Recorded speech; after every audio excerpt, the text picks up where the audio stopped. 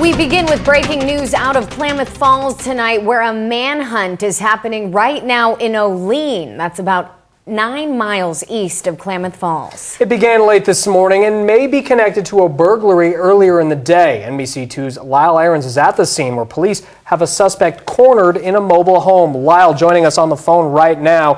What can you tell us? Well, right now I'm looking over the scene here in the Olene Valley, about nine miles, like I say, east of Klamath Falls. Uh, starting to get a little bit dark here, but they are bringing in a lot of uh, SWAT teams from across the state. Uh, right now, I'd estimate we've probably got about 20 plus uh, patrol cars, and uh, here's a couple more arriving as I'm talking. Uh, we've also got an ambulance and a uh, fire truck on hand just in case.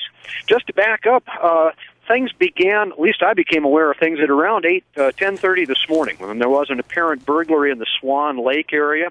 Uh, police tracked a suspect vehicle further east and that, uh, that Bronco left the road about 15 miles east of Klamath Falls in a very, very rugged area, uh, driving off the road farther than I can imagine taking a Bronco.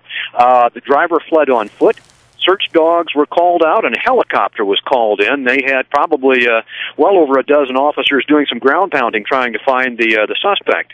Then at around 2 this afternoon, uh, police got word that a possible suspect may be in the Olene area where we are now. Uh, that suspect was tracked apparently on an AV- ATV, from what I understand, to a mobile home. And uh, police now have that home surrounded. They've secured a perimeter around the area, and they are waiting for uh, SWAT uh, teams to arrive, and they are coming in as we speak.